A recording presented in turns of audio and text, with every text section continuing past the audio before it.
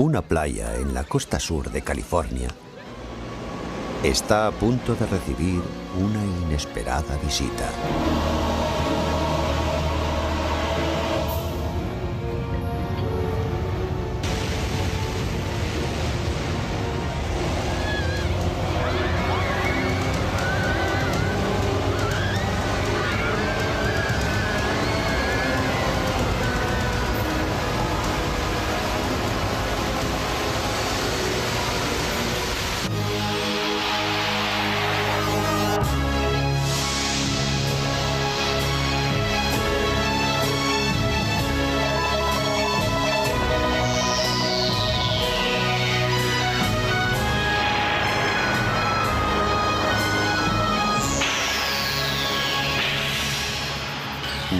Naturaleza agresiva.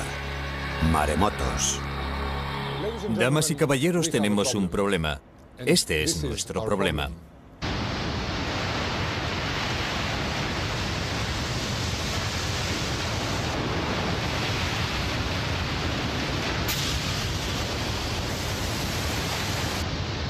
Maremotos.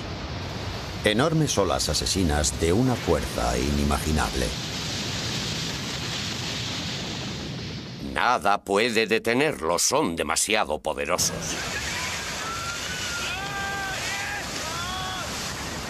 Son asesinos. Atacan a traición violenta y mortalmente. Ya hemos visto lo que pueden hacer los maremotos. Les hemos visto matar personas, destruir edificios y arrasar comunidades. Los científicos han descubierto en el fondo marino una nueva y aterradora amenaza. Lo que más aterrador resulta es que hemos descubierto que aún sabemos muy poco de ellos y que no estamos tan a salvo como pensábamos. Una amenaza que acecha muy especialmente a las costas de los Estados Unidos.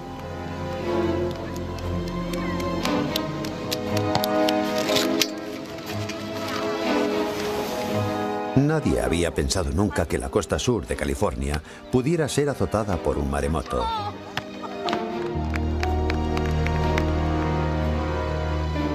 Pero ahora mismo en la franja costera más poblada del país podría suceder lo impensable.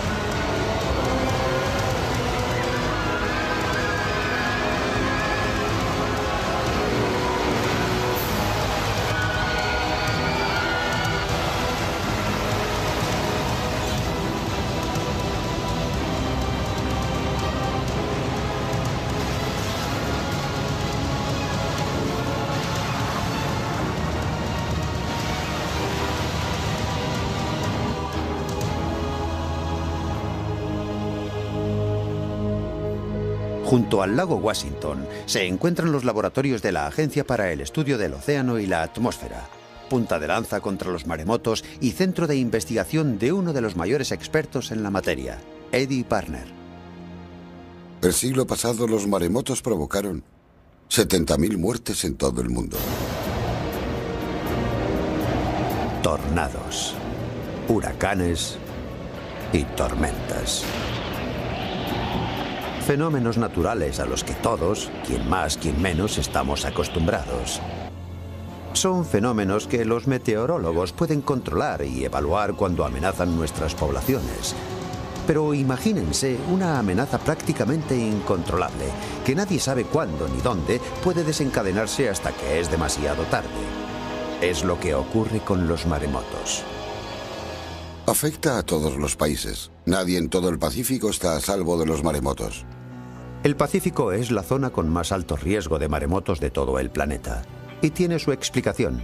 En ella se encuentran algunos de los volcanes más activos del mundo, razón por la cual se ha dado a esta zona el nombre de Cinturón de Fuego.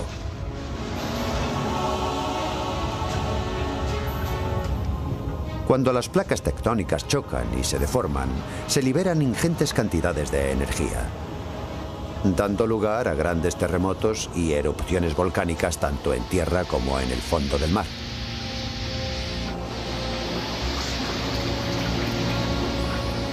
Estos terremotos submarinos son la causa más común del fenómeno maremoto. Cuando una falla se eleva, levanta consigo el agua que hay sobre ella y, cuando ésta vuelve a caer de nuevo, genera desde el epicentro una sucesión de grandes olas en cadena.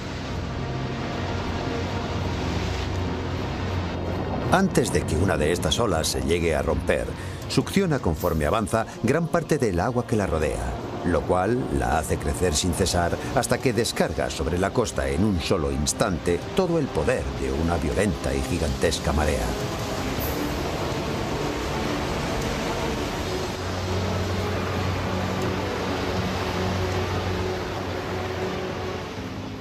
La energía contenida en esas murallas de agua es inimaginable.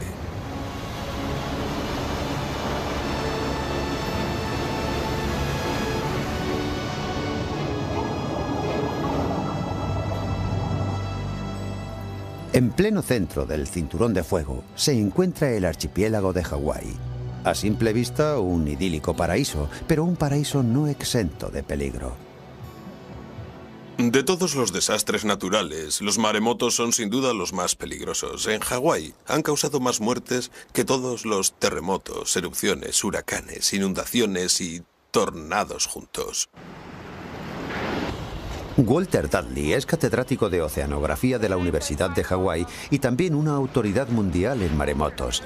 Hawái ha sufrido 40 maremotos en los últimos 200 años. A la ciudad hawaiana de Hilo se la conoce como la capital mundial de los maremotos, y uno de los peores pervive todavía en la memoria de muchos de los vecinos de este lugar.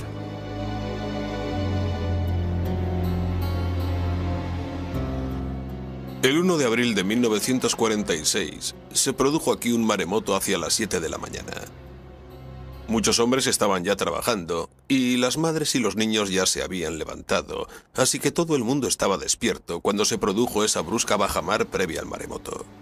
Mi madre nos llamó a mí y a todos mis hermanos y nos dijo, venid, venid aquí, porque vais a contemplar algo que quizá no veréis hasta dentro de 50 años. Adeline y su familia no fueron los únicos que quedaron fascinados por el espectáculo. Casi todo Hilo se acercó a verlo. El agua retrocedía más, más y más, formándose una muralla a unos 200 metros cada vez más, más y más grande. Mi madre nos llevó hasta la ventana y vimos cómo retrocedía el mar. Nos quedamos todos perplejos contemplando aquel grandioso espectáculo. La verdad es que estábamos fascinados. Una escena que los isleños presenciaban con ojos atónitos. Creo que lo contemplaban como una especie de curiosidad. No habían visto nunca nada igual. El agua no era verdosa ni blanca, era un agua negra mezclada con toneladas de arena. Y al fondo y a lo lejos se veía un gran horizonte negro, un muro oscuro inmenso, y sabíamos que cuanto mayor fuera, mayor sería la ola también. Quedó al descubierto toda la zona donde antes los isleños pescaban, pero allí ya no había agua, solamente fondo, y el ver aquello debió llenarles de asombro. Pulpos, peces y anguilas varados por todas partes, sobre la arena y roca seca. Alguien que estaba allí, no recuerdo quién, gritó con todas sus fuerzas, corred, y vaya si corrimos, como alma que lleva el diablo. Los aterrados transeúntes se encontraron huyendo de pronto de una montaña de agua de casi 10 metros de altura. Nada puede detenerlas, son demasiado poderosas, demasiado. Mi madre fue a por un martillo y comenzó a romper las ventanas. Nosotros nos quedamos todos mirándola y de repente un tremendo estrépito martilleó mis oídos. Entonces fue cuando mi madre cogió a mis dos hermanos pequeños, al bebé y a Marna. Los abrazó con mucha fuerza Y entonces las ventanas saltaron de los marcos y el techo se hundió sobre nosotros. En medio del pánico y la destrucción, Adeline perdió de vista a sus dos hermanos pequeños mientras los demás luchaban por salvar sus vidas. Cuando volví a ver a mi madre, me dijo, los he perdido. Yo la miraba y ella no dejaba de repetir, los he perdido, se han soltado, se los ha llevado el agua. La peor parte la padecieron los mil residentes del barrio Sinmachi.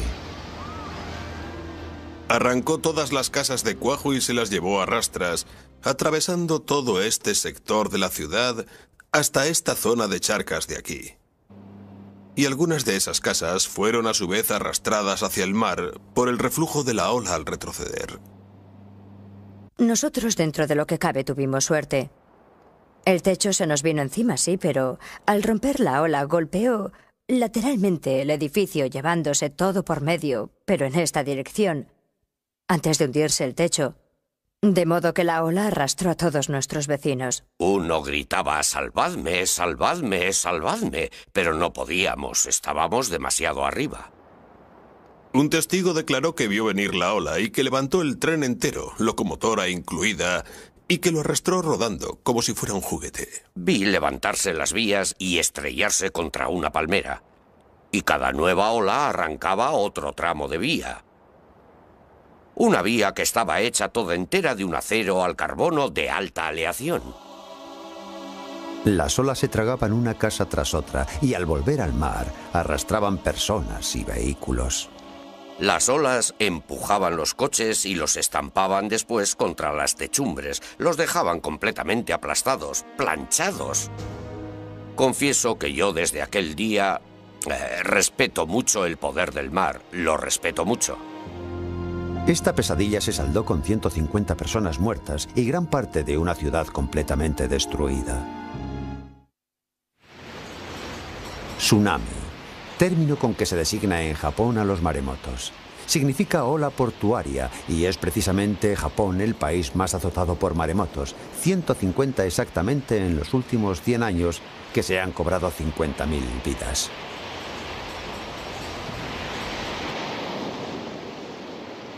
En 1993 le tocó el turno a Okusiri. Una ola de 28 metros se abatió sobre esta población, matando a 239 personas.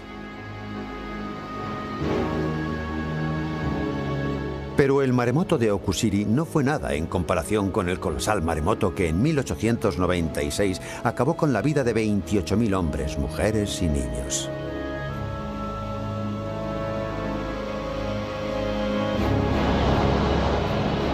Pero otros países del Pacífico tampoco son inmunes a los maremotos. Indonesia ha sufrido 34 en los últimos 100 años. En estas viejas imágenes de uno de ellos podemos ver que la gran velocidad del agua deja casi sin escapatoria a los que intentan huir de ella.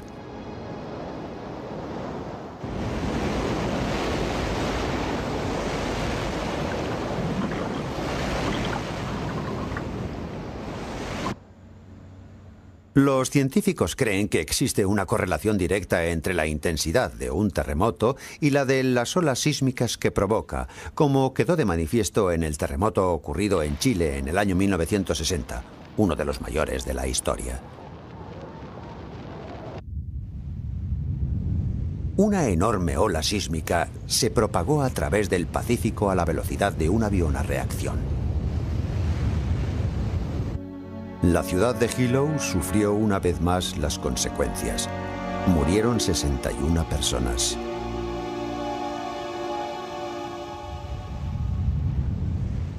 Y el doble en Japón, 122.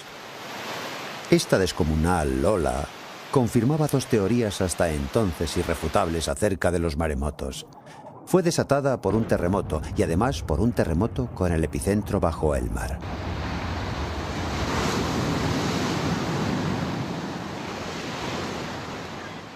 Pero el 17 de julio de 1998 estas teorías iban a quedar en entredicho.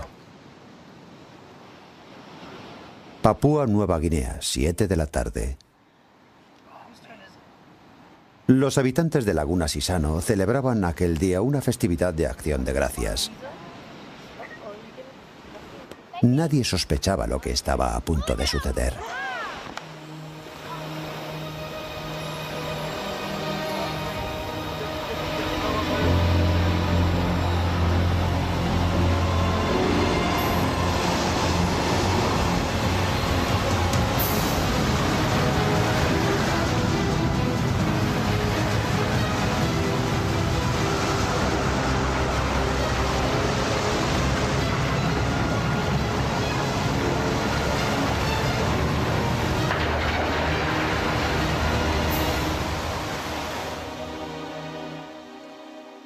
Seis minutos más tarde, más de dos mil personas habían perecido. La aldea ofrecía un panorama dantesco.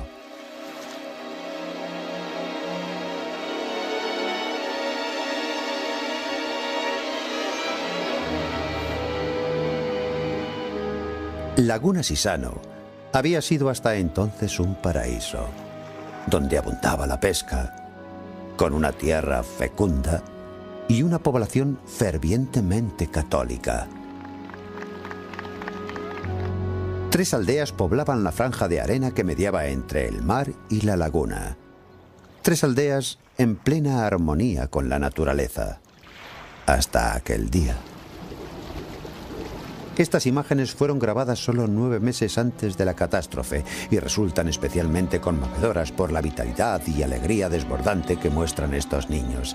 Ninguno de ellos vive ya.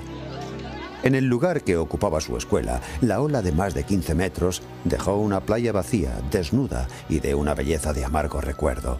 Aquella hermosa tarde de julio, estos niños perdieron la vida sin llegar a saber cómo ni por qué.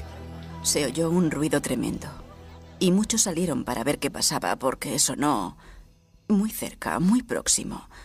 Y nos callamos todos para oírlo mejor, preguntándonos qué podía ser aquel ruido que no habíamos oído jamás. Eh,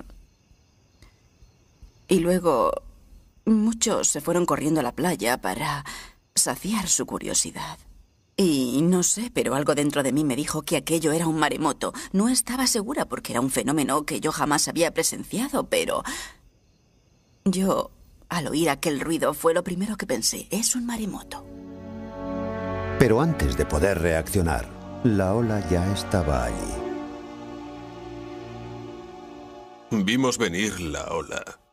Una ola enorme del tamaño de una casa. Yo llevaba una bolsa en la mano y no lo pensé dos veces. La solté inmediatamente y trepé a toda prisa hasta la copa de un árbol. Pero aquella ola era tan sumamente grande que incluso en lo alto del árbol me pasó por encima. No sé cómo pude salvarme. A mí y a otros la ola nos arrastró hacia adentro, hacia el interior de la laguna, que quedó convertida en un enorme cúmulo de restos y escombros. El paraíso se había transformado en un infierno. Me iba encontrando madres, madres y más madres con sus pequeños embrazos. Y cuando iba a hacerles la señal de la cruz en la frente, les encontraba fríos, muertos, y me costaba mucho asimilar eso. Vi. vi a muchas madres enterrar a sus hijos. Había cadáveres de niños por todas partes y yo me sentía impotente y desbordada como todos. Era inevitable sentirse desconcertado ante algo así. Pero la pesadilla no había terminado. Al ser esta una región de difícil acceso, la ayuda médica tardó en llegar y a numerosos heridos esta demora les costó perder brazos, piernas y en algunos casos la propia vida.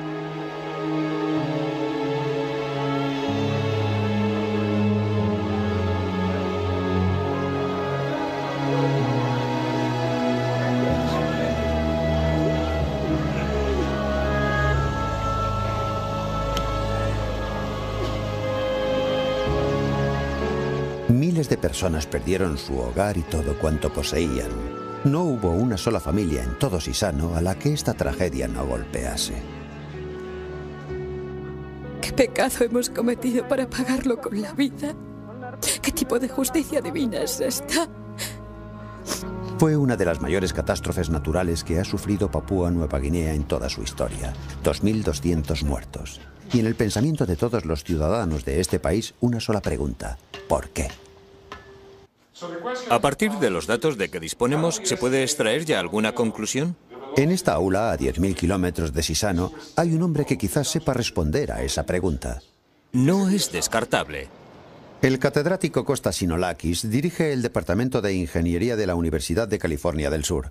Sus amplios conocimientos sobre hidrodinámica lo convierten en uno de los mayores conocedores del fenómeno maremoto. Dos semanas después de la tragedia de Sisano, se puso al frente de la comisión investigadora del desastre. No es un lugar muy seguro en caso de maremoto. No hay ningún lugar seguro. No lo hay.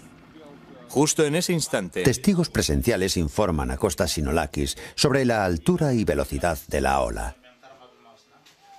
La devastación aquí fue una de las peores que nosotros hemos visto. La ola penetró en tierra como una enorme excavadora, arrastrándolo casi todo a su paso hasta más de tres kilómetros tierra adentro. En el primer kilómetro no quedó una sola casa en pie. El único signo visible de que allí había vivido alguien eran los pilares, los puntales que sostenían la estructura de las viviendas. Era un escenario realmente desolador. Este equipo jamás había investigado un maremoto como aquel. Este sector. Bien, en esta dirección de oeste a este. La destrucción aquí fue total, pero las aldeas situadas a escasos kilómetros no sufrieron daño alguno. El desconcierto crecía con cada nueva medición para precisar la altura de la ola. Costa Sinolakis trazó un gráfico del nivel alcanzado por el agua en varios puntos, descubriendo con asombro que en ciertas zonas dicho nivel era diez veces superior al que suele alcanzarse tras un terremoto de esa intensidad. Desde el principio vimos ya que este no era un caso normal. El terremoto no fue lo bastante intenso como para generar una ola de 16 metros. 5 metros es la altura máxima de una ola tras un temblor, de entre 1 y 7 grados, 5 metros, pero no 16 metros. Por tanto, algo no cuadraba. ¿Cuál fue entonces la causa de este maremoto? La respuesta a este raro fenómeno aparentemente inexplicable está en el propio mar. Por ello, seis meses más tarde, se puso en marcha una segunda investigación en suelo submarino.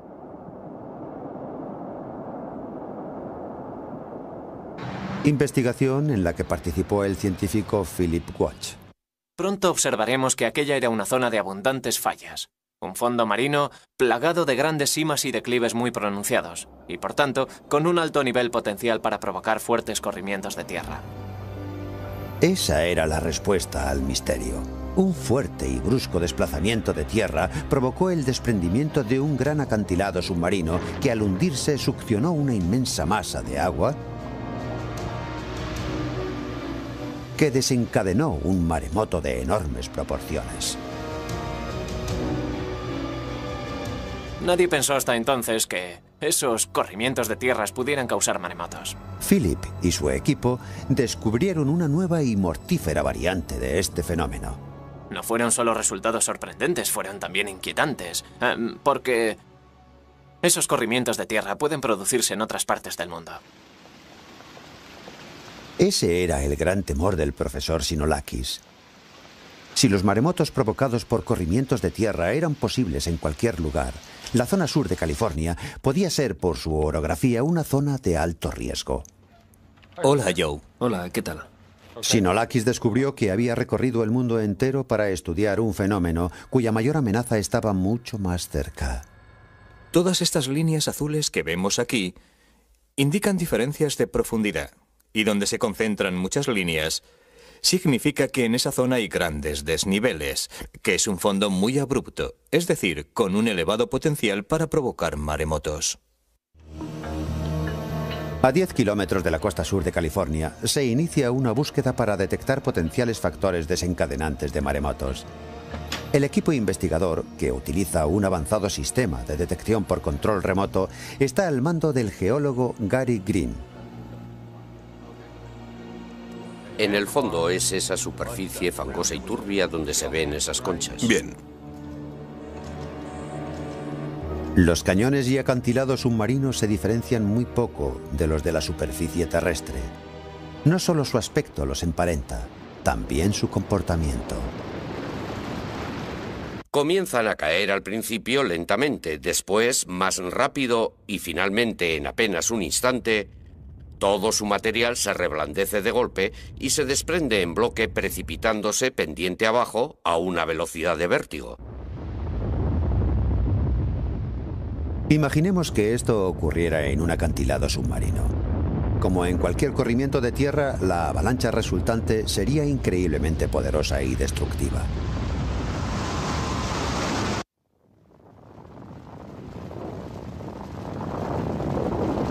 En tierra los sedimentos suelen ser rocas, guijarros o toneladas de nieve compacta. Bajo el mar, los sedimentos son arenas abrasivas o densos y pesados lodos.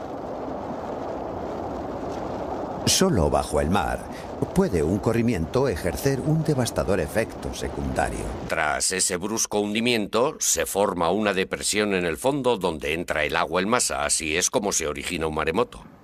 Nadie ha filmado nunca un maremoto como el que acaba de describir Gary Green. Pero este provocado por un iceberg en Groenlandia puede bastarnos para formarnos una idea.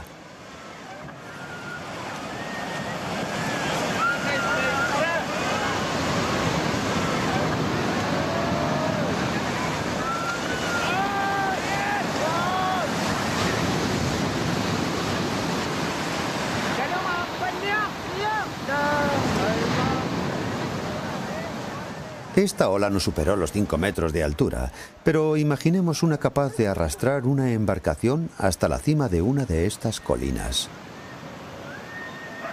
Una ola de ese tamaño batió el litoral californiano según varios testimonios, llegando a arrastrar incluso una embarcación hasta esta iglesia consagrada a Santa Bárbara y situada a 100 metros sobre el nivel del mar. ¿Qué pudo desencadenar un maremoto semejante? Gary Green cree haber descubierto cuál fue la causa de aquel maremoto. En esta zona pudieron haberse desprendido 1,5 kilómetros cúbicos. Tomando como referencia la ciudad de Santa Bárbara, por ejemplo, eso sería una masa unas seis o siete veces mayor que la ciudad. Un desprendimiento, por lo tanto, de una enorme magnitud. ¿Cómo lo ves? Creo que estamos cerca. Antes la arena estaba dificultando mucho la visibilidad. Ahora la imagen parece mucho más clara. Vamos a ver qué hay debajo. Podría ser... Fíjate bien en esta línea ascendente. Gary está preocupado. Acaba de avistar una zona donde podrían producirse nuevos corrimientos de tierra. Aquí hay una gran actividad sísmica. Eso significa que, de haber un terremoto, caso muy probable, precipitaría hacia el fondo gran cantidad de sedimentos y apreciamos indicios de agrietamiento en ese desnivel, indicios claros de que ese agrietamiento podría causar a medio plazo un maremoto. ¿Pueden otras zonas de California correr el mismo peligro? Es muy posible que en otras zonas de esta región, sobre todo en la parte sur de California, se estén desarrollando procesos geológicos similares, pero aún están por identificar. De entre todas las costas de todos los océanos, un maremoto en California sería probablemente el que más daños materiales y humanos provocaría. Hermosa Beach, por ejemplo, registra una afluencia diaria de hasta 250.000 personas.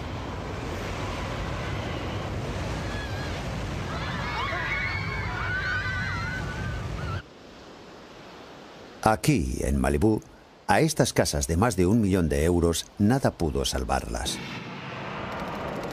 Alto riesgo de desprendimientos a cordón en la zona. California se enorgullece de contar con el mayor puerto deportivo del mundo, Marina del Rey. Restos y desechos se amontonan por todas partes. Unidad 10 en camino. Esperamos instrucciones. Y más al sur se encuentran los puertos de Los Ángeles y Long Beach. Casi un millón de barriles de crudo se descargan aquí cada día. Brigadas de extinción preparadas para intervenir. Es como una bomba a punto de estallar. AZ-16, responda. Toda esta costa es una inmensa zona catastrófica en potencia. Sabemos que los temblores de tierra son la principal causa de los maremotos. Japón ha sufrido algunos de los peores seísmos de todos los tiempos.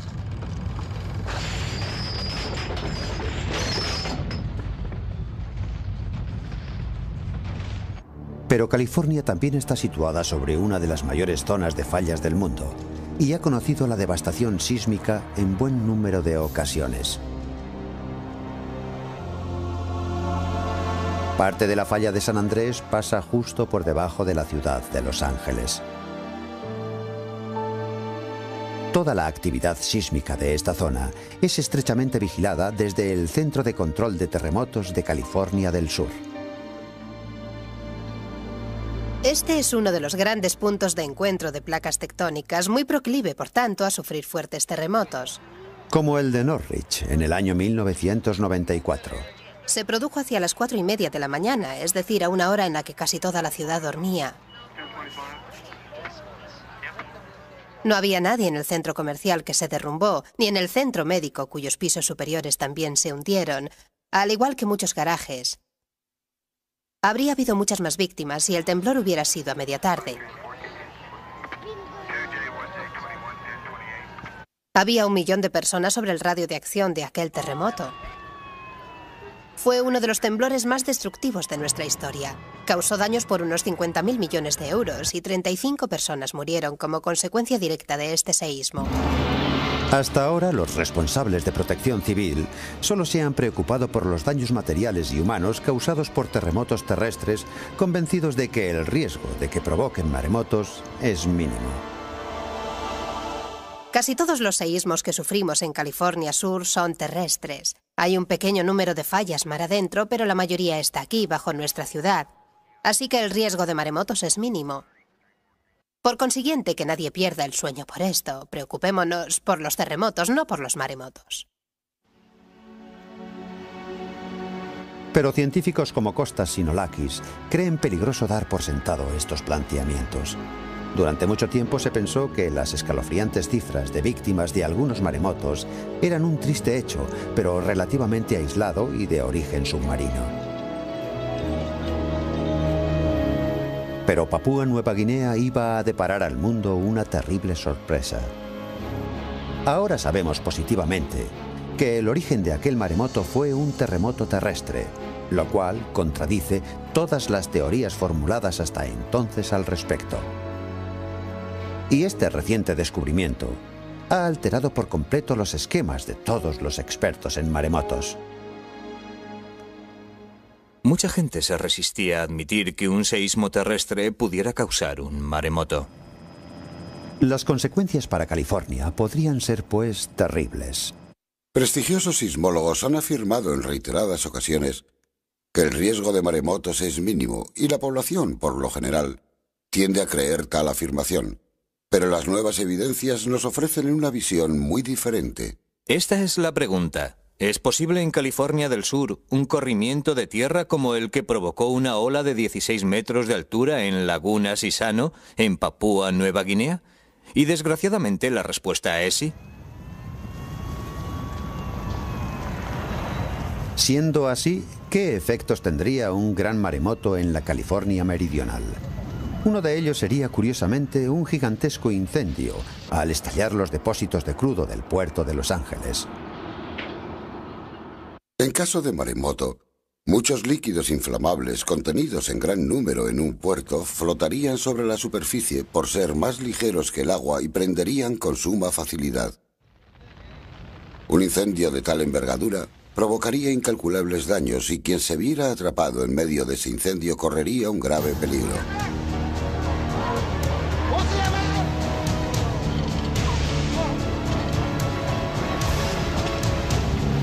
Eso exactamente fue lo que ocurrió en la ciudad de Okusiri durante el maremoto de 1993. El incendio que se declaró en el puerto no pudo ser sofocado hasta varios días después, causando más daños incluso que la ola que lo provocó.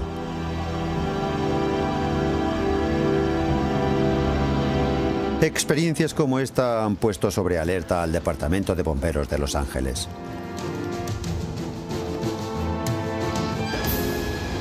Estos bomberos se preparan para afrontar uno de los retos más duros de la naturaleza. Esperemos que algo así no llegue a ocurrir jamás, pero tenemos que estar preparados para ello. Debemos saber cómo reaccionar ante un maremoto si lo que afirman los expertos es cierto.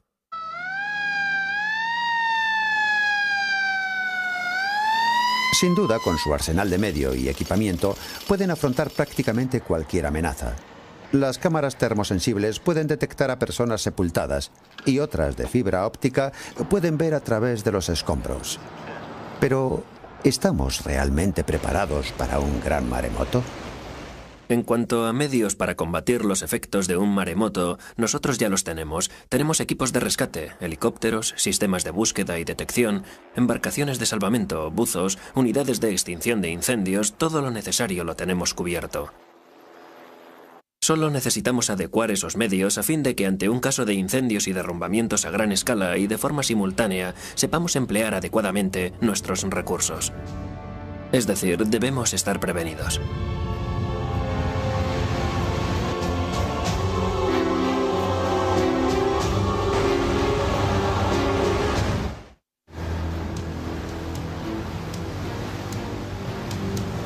Cuando la ola de un maremoto toca tierra, su efecto es como el de una gran inundación. Cantidades torrenciales de agua, lodo y escombros lo barren todo a su paso. Solo dos palmos de agua, desplazándose a la velocidad que lleva la ola de un maremoto, arrastrarían a cualquiera. No tienen nada que ver con esas grandes olas que tanto gustan a los aficionados al surf. Es una descomunal avalancha de agua que no deja nada en pie cuando golpea la costa. Arrastra rocas, árboles, edificios. Primero tierra adentro y después en sentido inverso al volver sobre sus pasos. Una corriente de agua de unos 50 kilómetros por hora equivale a un viento de unos 50.000 kilómetros por hora. Eso puede darnos una idea. Un coche cerrado retiene aire suficiente como para flotar y ser arrastrado por la tromba de escombros y agua.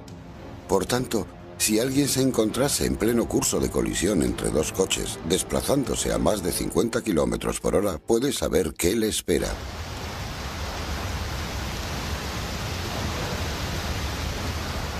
Permítanme una recomendación. Si se ven en esa situación, aléjense todo lo posible de esa tromba de agua. Porque además de agua lleva más cosas. Y son esas cosas lo que mata a la gente.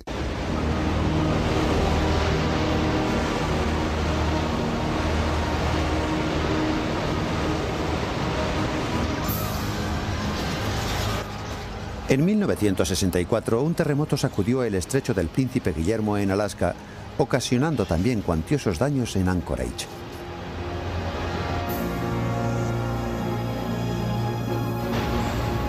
Pero provocó además un grandísimo maremoto que se propagó hacia el sur.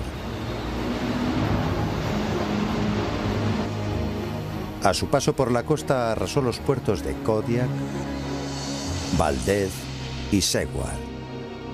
Antes de terminar su viaje en Crescent City, en California del Norte, a menos de mil kilómetros de Los Ángeles. Gran parte de la ciudad quedó sumida en la más absoluta destrucción.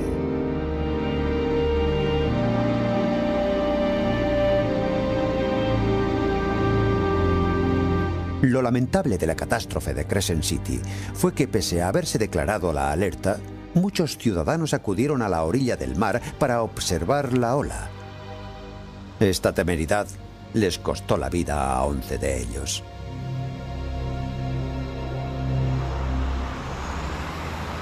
Walter Dudley está desarrollando eficaces medidas de protección contra maremotos en un lugar donde son tan frecuentes como en Hawái.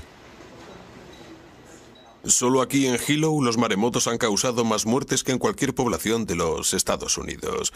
Y nosotros sabemos que habrá más maremotos, no podemos hacer nada por evitarlo, se trata simplemente de una cuestión de tiempo, pero lo que sí podemos hacer es adoptar medidas para no tener cifras de víctimas como las que hemos tenido. Y el mejor método de hacerlo es informar sobre la naturaleza de esta amenaza y sobre cómo actuar para estar más protegidos. La intención del Museo de Maremotos del Pacífico es que los hawaianos tengan siempre presente la amenaza que los maremotos representan. Sus exposiciones ofrecen no solo información acerca de este fenómeno, sino también reveladores testimonios de supervivientes.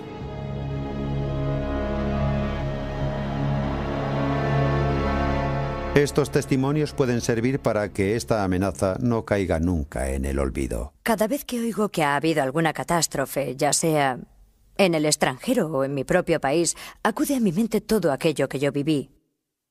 Yo sobreviví a una catástrofe, la sufrí en mis propias carnes. Si sales con vida, da gracias a Dios, amigo, porque Dios ha sido muy bueno contigo. Pero existen formas mucho más directas de proteger a una población.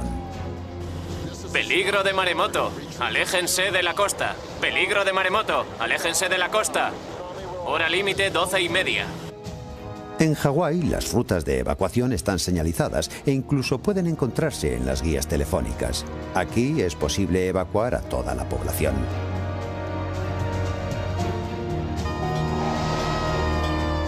En Japón cuentan incluso con otras medidas de apoyo.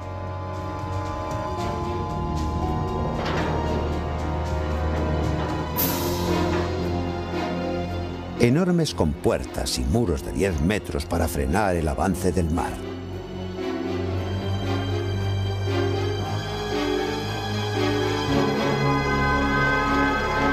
Las sirenas y las rutas de evacuación son similares a las de Hawái.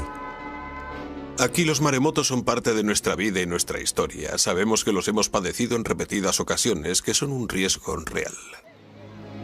En Hilo no es difícil mantener concienciada a la población sobre el riesgo de un maremoto, pero ¿qué ocurre en una ciudad despreocupada que no ha pasado por esa experiencia? Va a costar convencer a la gente de Los Ángeles de que tienen mayores motivos de preocupación que la contaminación y el tráfico. No creo que la costa sur de California esté preparada para un desastre de ese alcance. ¿Qué podemos hacer entonces para proteger nuestras poblaciones costeras cuando el peligro puede ser ya inminente? Lo peor de todo es que la nuestra es una de las zonas más densamente pobladas de los Estados Unidos. Nuestras costas son muy llanas. La ola podría penetrar cientos de metros tierra adentro y las playas están totalmente desprovistas de barreras naturales. Ni hay diques ni rompeolas, no hay absolutamente nada.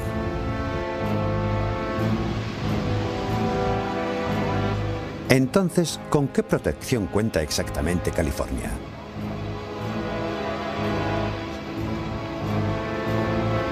Hay alumbrado público, pero ni una sola sirena. Muchos letreros, pero ninguno advierte del riesgo de maremotos. Aquí, prohibir patinar parece más importante. Este centro de localización de maremotos puede detectar grandes olas en alta mar, en el otro extremo del Pacífico, pero sería totalmente ineficaz contra un maremoto localizado a solo unos kilómetros mar adentro. En ese supuesto tendríamos menos de 20 minutos para ponernos a salvo, para huir. Con eso está dicho todo. El sur de California ha sufrido ya otros maremotos. La cuestión no es si se repetirán o no. La cuestión es cuándo se repetirán. Ha comenzado, por tanto, una carrera contra el tiempo.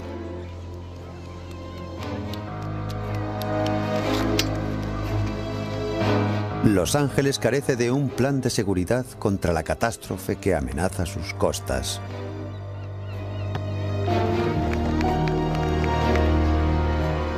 Y que podría golpear esta playa dentro de breves minutos, cuando ya no quede tiempo ni lugar para escapar.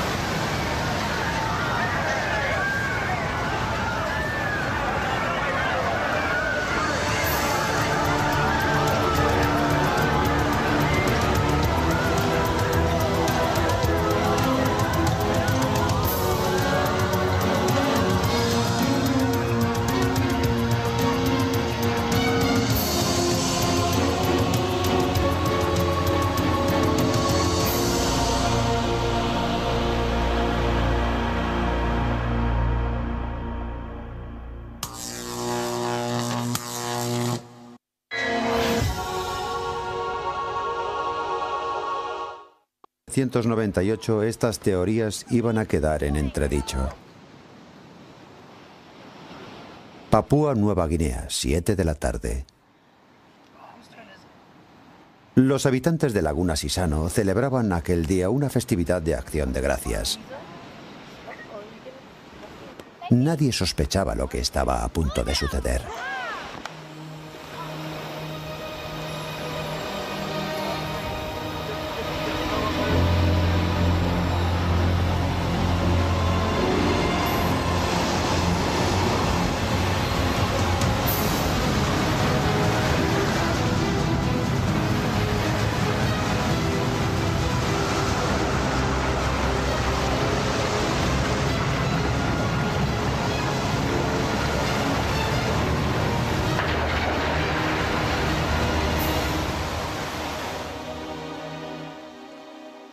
Seis minutos más tarde, más de dos mil personas habían perecido. La aldea ofrecía un panorama dantesco.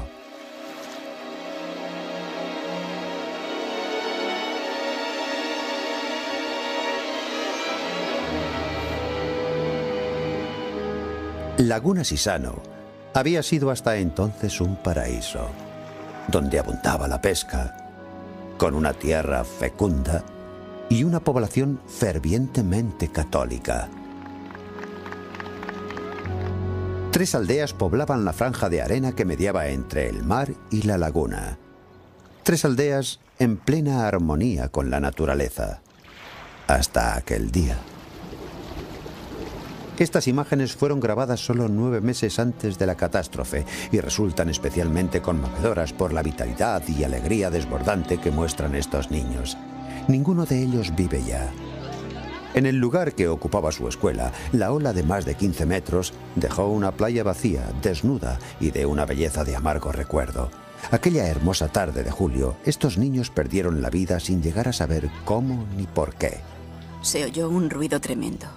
Y muchos salieron para ver qué pasaba porque sonó muy cerca, muy próximo. Y nos callamos todos para oírlo mejor, preguntándonos qué podía ser aquel ruido que no habíamos oído jamás. Eh, y luego muchos se fueron corriendo a la playa para saciar su curiosidad. Y no sé, pero algo dentro de mí me dijo que aquello era un maremoto. No estaba segura porque era un fenómeno que yo jamás había presenciado, pero... Yo, al oír aquel ruido, fue lo primero que pensé. Es un maremoto. Pero antes de poder reaccionar, la ola ya estaba allí. Vimos venir de vista a sus dos hermanos pequeños mientras los demás luchaban por salvar sus vidas. Cuando volví a ver a mi madre, me dijo, los he perdido. Yo la miraba y ella no dejaba de repetir, los he perdido, se han soltado, se los ha llevado el agua. La peor parte la padecieron los mil residentes del barrio Sinmachi.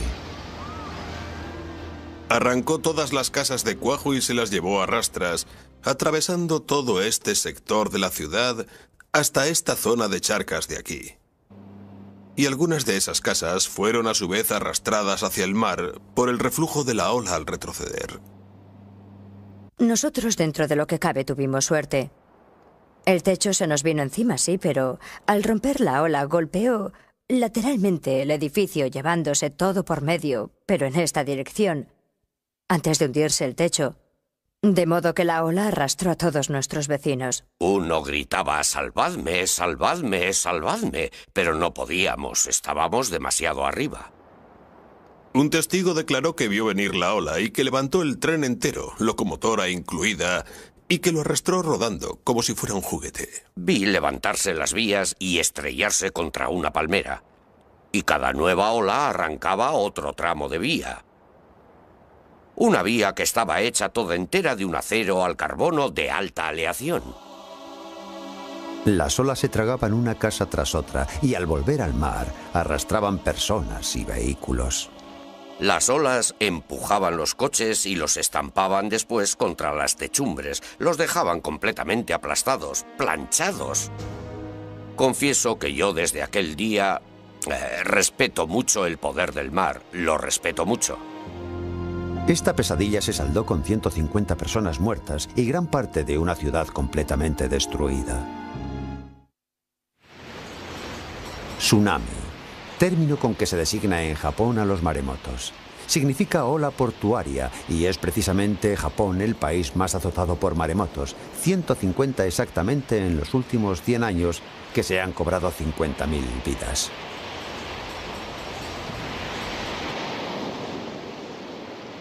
En 1993 le tocó el turno a Okusiri. Una ola de 28 metros se abatió sobre esta población, matando a 239 personas. Pero el maremoto de Okusiri no fue nada en comparación con el colosal maremoto que en 1896 acabó con la vida de 28.000 hombres, mujeres y niños.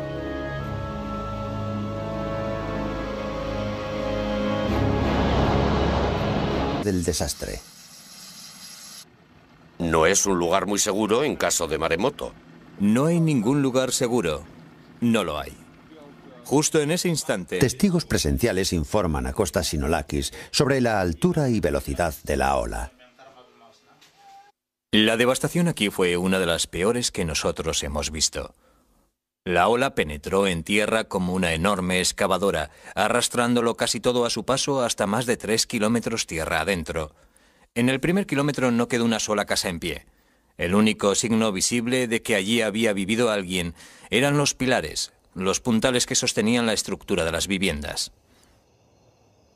Era un escenario realmente desolador. Este equipo jamás había investigado un maremoto como aquel. Este sector. Bien, en esta dirección de oeste a este. La destrucción aquí fue total, pero las aldeas situadas a escasos kilómetros no sufrieron daño alguno. El desconcierto crecía con cada nueva medición para precisar la altura de la ola. Costa Sinolakis trazó un gráfico del nivel alcanzado por el agua en varios puntos, descubriendo con asombro que en ciertas zonas dicho nivel era diez veces superior al que suele alcanzarse tras un terremoto de esa intensidad. Desde el principio vimos ya que este no era un caso normal. El terremoto no fue lo bastante intenso como para generar una ola de 16 metros. 5 metros es la altura máxima de una ola tras un temblor, de entre 1 y 7 grados, 5 metros, pero no 16 metros. Por tanto, algo no cuadraba. ¿Cuál fue entonces la causa de este maremoto? La respuesta a este raro fenómeno aparentemente inexplicable está en el propio mar. Por ello, seis meses más tarde, se puso en marcha una segunda investigación en suelo submarino.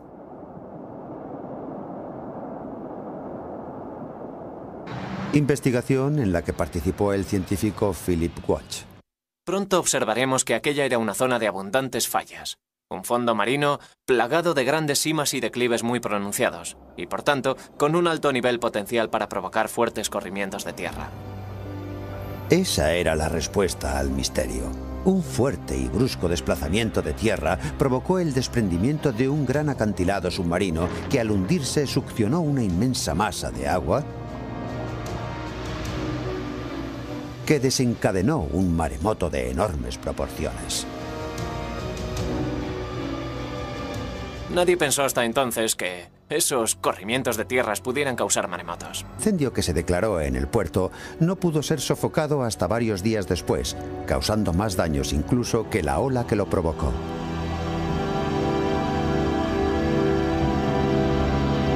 Experiencias como esta han puesto sobre alerta al Departamento de Bomberos de Los Ángeles.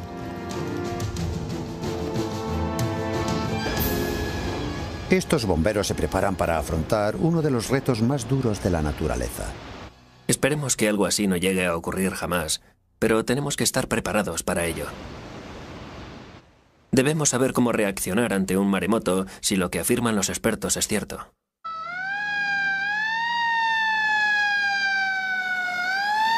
Sin duda, con su arsenal de medio y equipamiento, pueden afrontar prácticamente cualquier amenaza. Las cámaras termosensibles pueden detectar a personas sepultadas y otras de fibra óptica pueden ver a través de los escombros. Pero ¿Estamos realmente preparados para un gran maremoto? En cuanto a medios para combatir los efectos de un maremoto, nosotros ya los tenemos. Tenemos equipos de rescate, helicópteros, sistemas de búsqueda y detección, embarcaciones de salvamento, buzos, unidades de extinción de incendios, todo lo necesario lo tenemos cubierto. Solo necesitamos adecuar esos medios a fin de que ante un caso de incendios y derrumbamientos a gran escala y de forma simultánea, sepamos emplear adecuadamente nuestros recursos. Es decir, debemos estar prevenidos.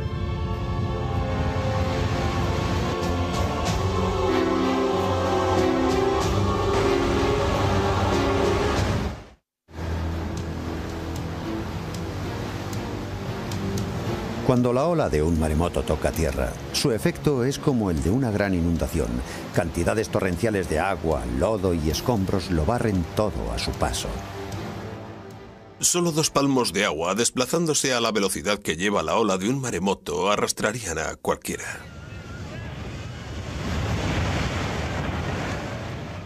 No tienen nada que ver con esas grandes olas que tanto gustan a los aficionados al surf. Es una descomunal avalancha de agua que no deja nada en pie cuando golpea la costa.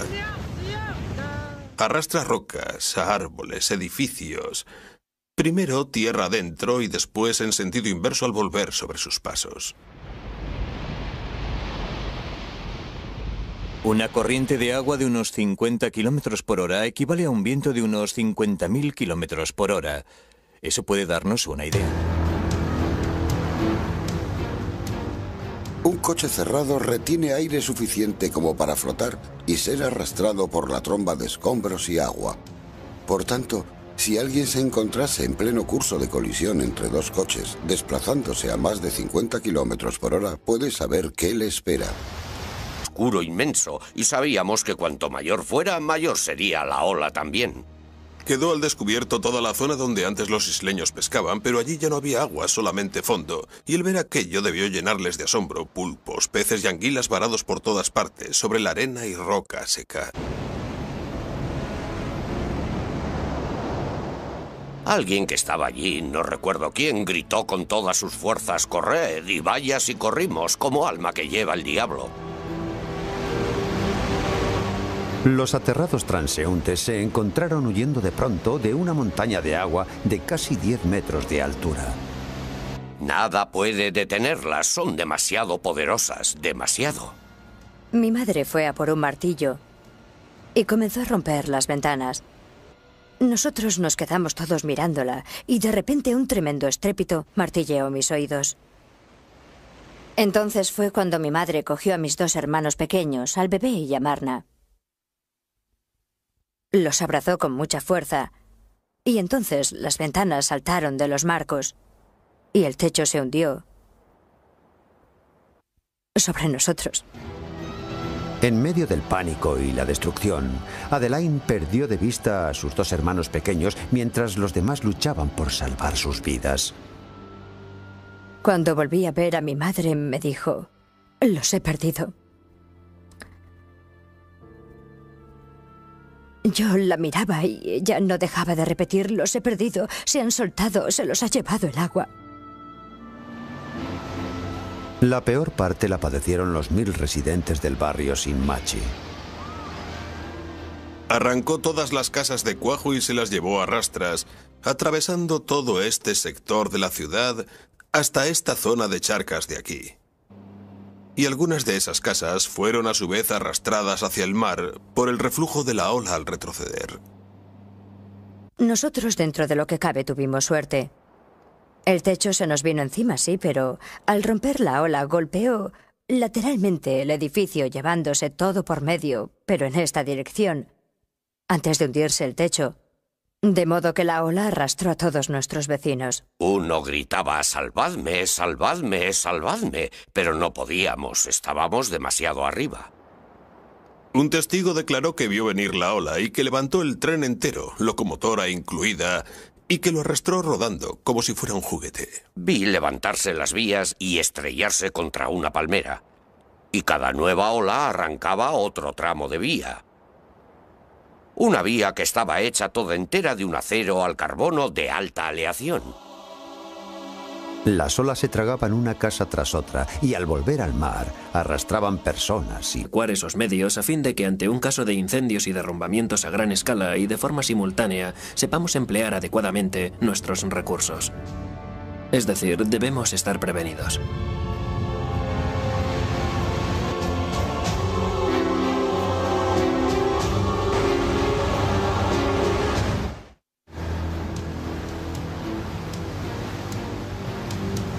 Cuando la ola de un maremoto toca tierra, su efecto es como el de una gran inundación.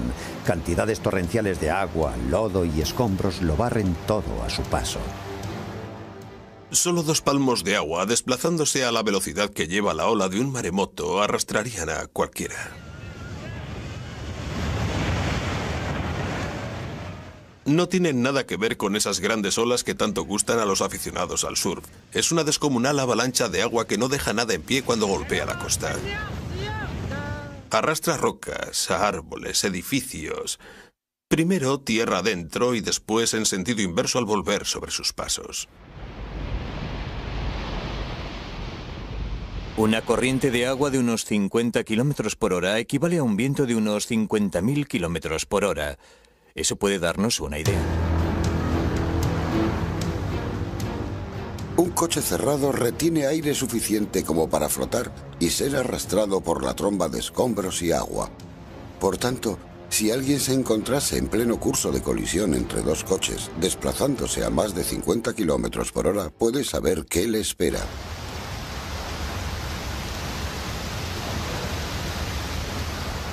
Permítanme una recomendación. Si se ven en esa situación, aléjense todo lo posible de esa tromba de agua. Porque además de agua lleva más cosas. Y son esas cosas lo que mata a la gente.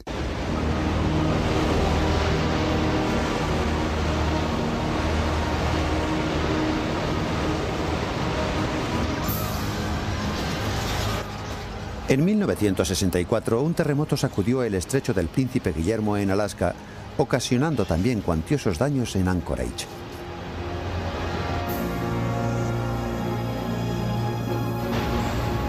Pero provocó además un grandísimo maremoto que se propagó hacia el sur. A su paso por la costa arrasó los puertos de Kodiak, Valdez y Seward. Antes de terminar su viaje en Crescent City, en California del Norte, a menos de mil kilómetros de Los Ángeles. Gran parte de la ciudad quedó sumida en la más absoluta destrucción.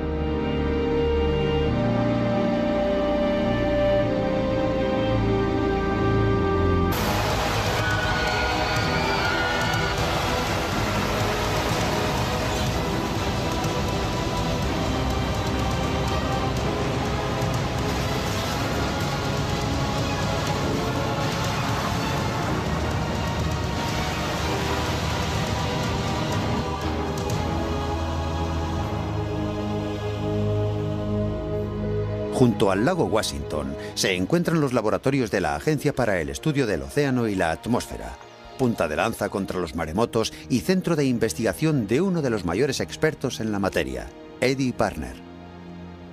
El siglo pasado los maremotos provocaron 70.000 muertes en todo el mundo. Tornados, huracanes y tormentas. Fenómenos naturales a los que todos, quien más, quien menos, estamos acostumbrados. Son fenómenos que los meteorólogos pueden controlar y evaluar cuando amenazan nuestras poblaciones. Pero imagínense una amenaza prácticamente incontrolable, que nadie sabe cuándo ni dónde puede desencadenarse hasta que es demasiado tarde. Es lo que ocurre con los maremotos. Afecta a todos los países. Nadie en todo el Pacífico está a salvo de los maremotos. El Pacífico es la zona con más alto riesgo de maremotos de todo el planeta. Y tiene su explicación. En ella se encuentran algunos de los volcanes más activos del mundo, razón por la cual se ha dado a esta zona el nombre de Cinturón de Fuego.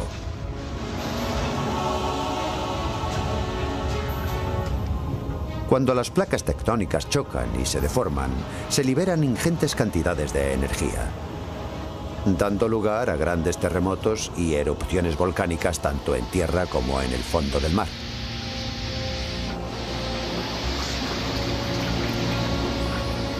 Estos terremotos submarinos son la causa más común del fenómeno maremoto. Cuando una falla se eleva, levanta consigo el agua que hay sobre ella y, cuando ésta vuelve a caer de nuevo, genera desde el epicentro una sucesión de grandes olas en cadena. Antes de que una de estas olas se llegue a romper, succiona conforme avanza gran parte del agua que la rodea, lo cual la hace crecer sin cesar hasta que descarga sobre la costa en un solo instante todo el poder de una violenta y gigantesca marea.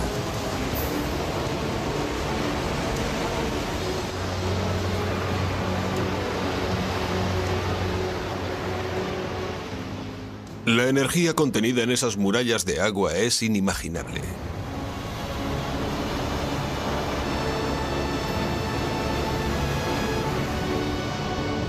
Entonces, ¿con qué protección cuenta exactamente California?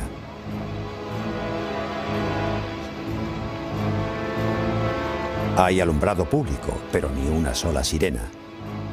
Muchos letreros, pero ninguno advierte del riesgo de maremotos.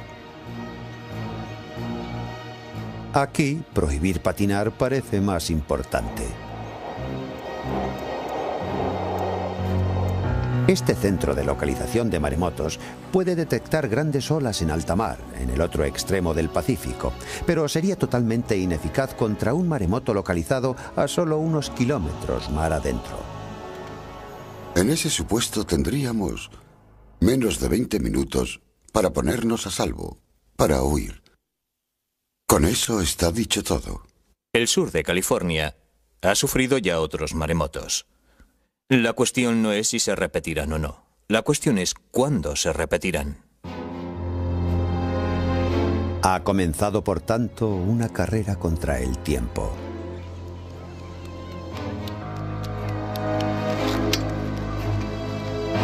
Los Ángeles carece de un plan de seguridad contra la catástrofe que amenaza sus costas.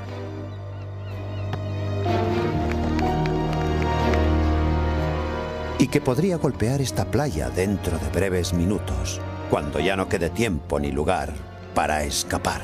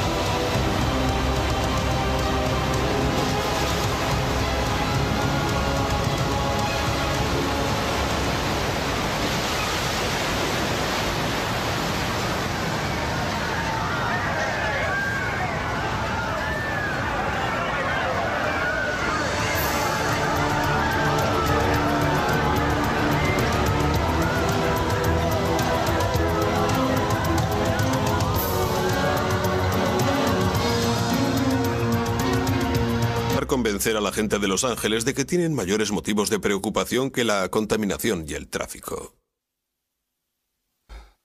No creo que la costa sur de California esté preparada para un desastre de ese alcance.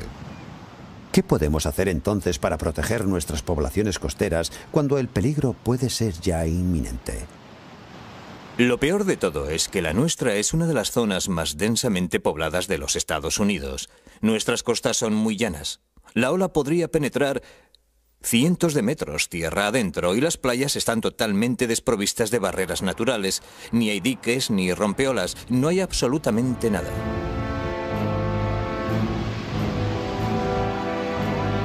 Entonces, ¿con qué protección cuenta exactamente California?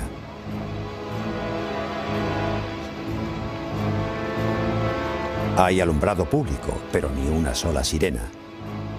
Muchos letreros, pero ninguno advierte del riesgo de maremotos.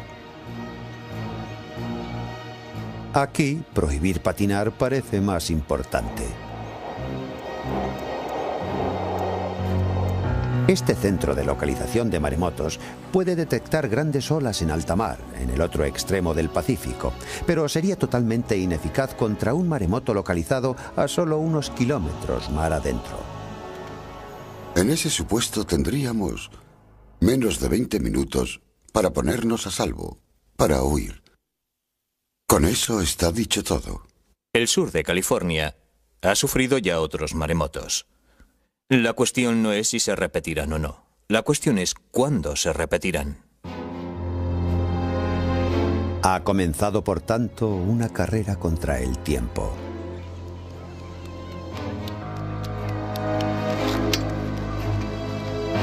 Los Ángeles carece de un plan de seguridad contra la catástrofe que amenaza sus costas.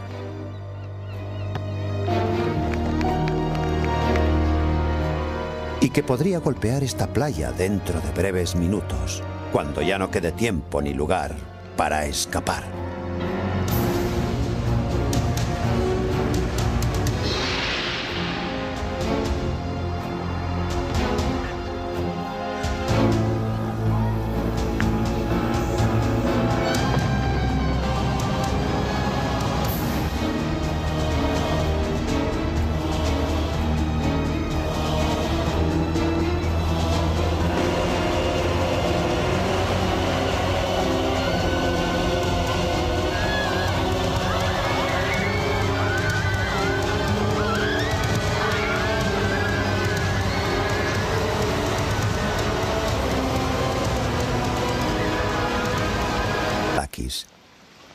Si los maremotos provocados por corrimientos de tierra eran posibles en cualquier lugar, la zona sur de California podía ser, por su orografía, una zona de alto riesgo.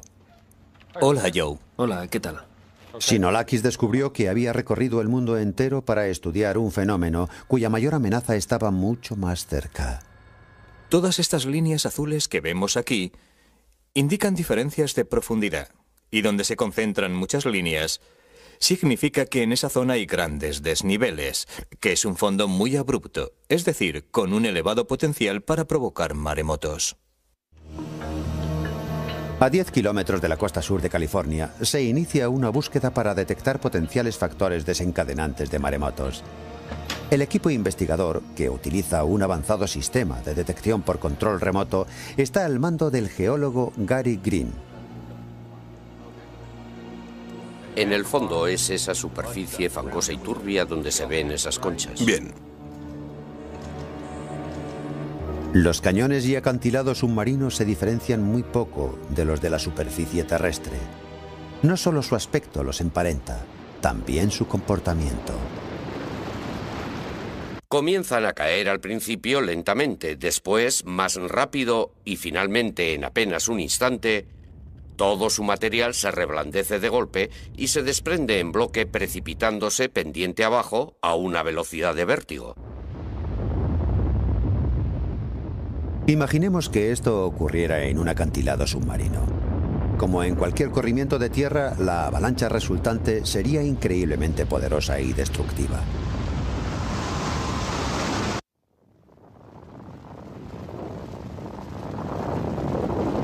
En tierra los sedimentos suelen ser rocas, guijarros o toneladas de nieve compacta. Bajo el mar los sedimentos son arenas abrasivas o densos y pesados lodos. Solo bajo el mar puede un corrimiento ejercer un devastador efecto secundario. Tras ese brusco hundimiento, se forma una depresión en el fondo donde entra el agua en masa, así es como se origina un maremoto. Nadie ha filmado nunca un maremoto como el que acaba de describir Gary Green. Pero este provocado por un iceberg en Groenlandia puede bastarnos para formarnos una idea.